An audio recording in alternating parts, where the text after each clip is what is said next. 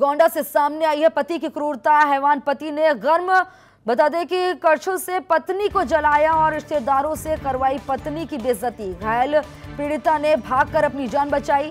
वहीं पीड़िता का जिला अस्पताल में इलाज चल रहा है। पुलिस हिरासत में आरोपी पति और रिश्तेदार।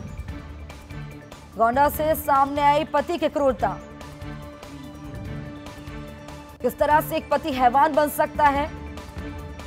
उसकी तस्वीर देखने को मिली है। हवानिया, बता दें कि हवानियत की सारी हदें पार कर दी। रिश्तेदारों से भी अपनी पत्नी की बेइज्जती कराई। किसी तरह से पत्नी ने यहाँ से भागकर अपनी जान बचाई है। वहीं पुलिस ने भी फौरी तौर पर यहाँ कार्रवाई की। पुलिस ने आरोपियों को गिरफ़्तार कर लिया है। पीड़िता का जिला अस्पताल में इलाज चल रहा है। पुलिस ने हिरासत में लिया आरोपी पति और रिश्तेदार को।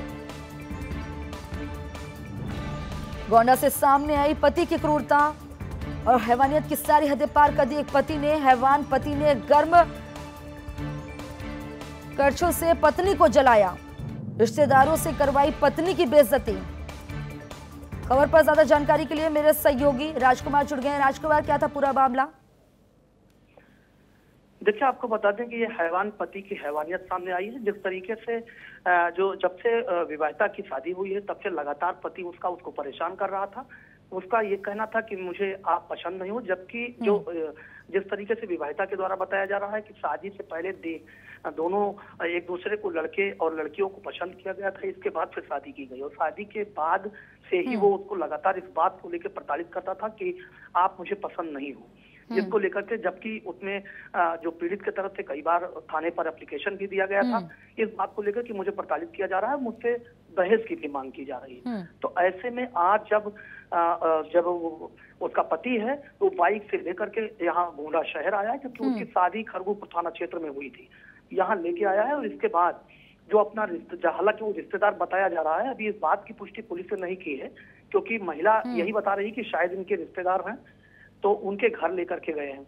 इसके बाद बाइक को सही कराने का बहाना करके इसका पति वहाँ से चला गया है। इसका रिश्तेदार कमरे में बंद करके इसके साथ ज़बरदस्ती की गई है। हालाँकि जो उसने मीडिया में बयान दिया है उसमें उसने रेप की बात नहीं की है लेकिन जो जो शिकायती पत्र जो पुलिस को दिया गया है उसमें बाकायदा उसने इस बात की भी पुष्टि की है कि उसके साथ न सिर्फ़ बेजती की गई है बल्कि उसके साथ रेप भी किया गया है। हालाँकि पुलिस ने इस बात को फ़िलहाल इसमें जाँच कर रही है और मेडिकल के लिए लड़की का वो परीक्षा करा रही है। पीड़ित महिला की हालत कैसी बनी हुई है और पुलिस ने हिरासत में लेने के बाद और क्या कुछ कदम उठाया है? बिल्कुल देखिए जब हालाँकि जो दोनों आरोपी थे उसका पति और उसके रिश्तेदार दोनों को हिरासत में लिया गया है उससे पूछताछ कर रही है और जो हम्म। महिला थी पीड़ित हाँ उसको अस्पताल में एडमिट कराया गया दरअसल ये महिला जब वो दोनों लोग उसके साथ बर्बरता कर रहे थे उसको मार पीट रहे थे उसी के दौरान एक महिला सिपाही उधर से गुजर रही थी हम्म। जिसको देखने के बाद महिला वहाँ से आवाज़ लगाई वहाँ से हम्म। चिल्लाई और महिला सिपाही देखते हुए उसके तरफ़ भगी। वो महिला सिपाही उसको ले जाके हॉस्पिटल में एडमिट कराया। फ़िलहाल उसका इलाज चल रहा है। तो जो डॉक्टरों से मेरी बात हुई है उसका साफ़ तौर पर यह कहना है कि जो महिला की स्थिति है वो कोई बहुत गंभीर नहीं है।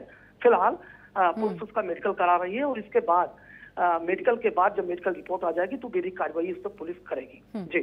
राजकुमार सिंह खबर पर जानकारी देने के लिए आपका बहुत बहुत शुक्रिया।